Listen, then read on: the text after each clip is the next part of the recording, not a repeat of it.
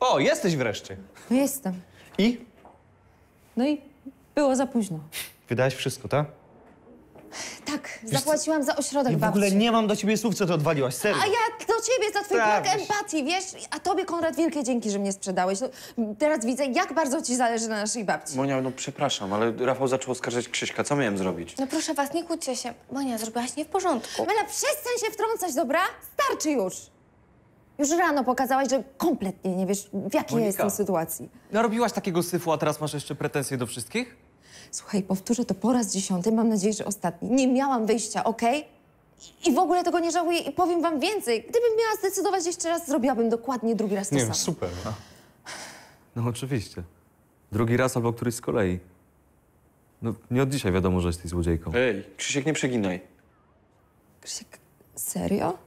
Zawsze nią byłaś. Nie tak cię poznaliśmy przypadkiem? Szkoda, że Kacpra nie ma. On coś najwięcej wie na ten temat. Okej, dobrze, to... Słuchajcie, żebyście się nie musieli więcej obawiać, że może znowu was okradnę, to ja na wszelki wypadek się wyprowadzę. Nie, Monia, przecież nie o to chodziło. Mela, mów za siebie. Właśnie, no, Krzysiu odzyska swój ulubiony pokój. Zadowoleni jesteście?